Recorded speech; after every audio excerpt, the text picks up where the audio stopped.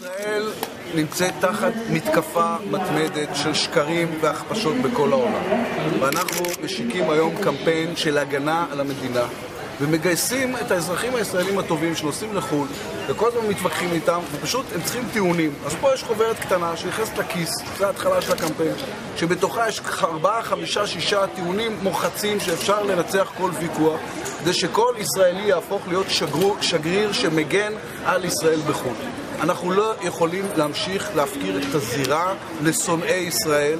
אנחנו צריכים להגן על שמה הטוב של ישראל בעולם, מכפישים אותנו, משמיצים אותנו, הגיע הזמן לענות.